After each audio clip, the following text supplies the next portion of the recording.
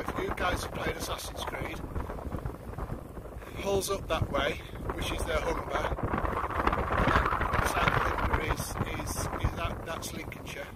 This is East Yorkshire. Right. And then as you turn around, come around this way, you've got Barmston. Then you go down the coast, you can see Bridlington. And then as you go up the coast again, you go towards where the trees are, Flamborough Head, and then you can just about, I don't know if you can see it not, but you can just about see the two lighthouses. There's one inland where the golf course is, which is the old one, which has been there since um, it's like this, maybe 17, 1600s, I don't know, maybe maybe younger than that. And then you've got the actual lighthouse in the Foghorn and Flamborough Head. Look at that view. Just look at it.